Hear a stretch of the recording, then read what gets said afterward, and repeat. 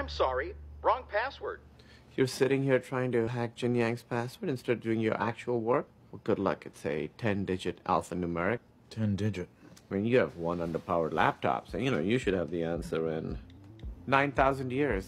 Is that scene in Silicon Valley true? Can that actually happen? Can you actually hack a smart fridge? The answer is so you know that scene in Silicon Valley where Gilfoyle hacks Jin Yang's smart fridge. Is that possible? Absolutely. The reason is is because if the fridge has outdated software, or maybe if it has some some sort of flaw or open ports, you can penetrate it. So you might think, oh, why would a smart fridge have SSH or Telnet, you know, open on smart fridge devices or firmware. The reason is, is because when they want to make sure that their fridges and their products are secure and are updated, and if there's any issues, it sends back diagnostics back to their server so they can analyze like the report. Or like when a person comes to try and fix the fridge or update the firmware, they need to access that port so they can check the diagnostics and check what's wrong with the firmware if it's outdated or if there's a certain version they need to out, uh, update, etc. But can it be hacked? Absolutely. You could use Nmap to probe the ports to figure out what vulnerabilities or services could be open. And second, maybe you could try running an exploit. But in that scenario, Gilfoyle had to write his own sort of exploit to attack this service or this outdated version of that firmware on the fridge. And then basically what he just did was he just embedded, he edited the source code, he embedded